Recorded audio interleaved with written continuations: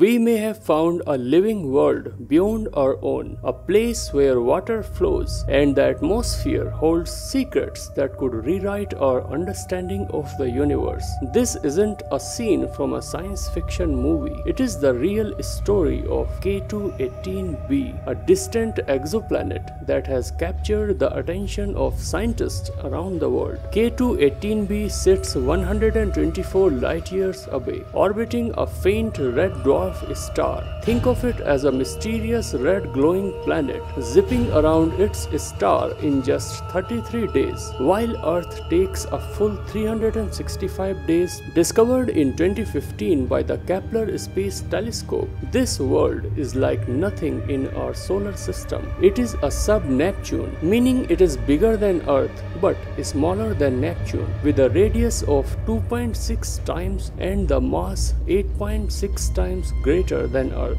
Its parent star K2-18 is a red dwarf, much cooler than the Sun with a surface temperature of about 3457 Kelvin and only about half the size. Red dwarfs like this are the galaxy's most common stars, known for their steady energy and stability, perfect for a planet that might support life. K2-18b finds itself in the sweet spot, the habitable zone, where temperatures could allow liquid water to exist on the surface. This planet also receives a similar amount of stellar radiation as Earth receives from the Sun. The planet's atmosphere is what shocked everyone. Using the James Webb Space Telescope, researchers have spotted water vapor, carbon dioxide, and methane swirling around K2-18b, each discovery building the suspense. But the most electrifying discovery is the possible presence of dimethyl sulfide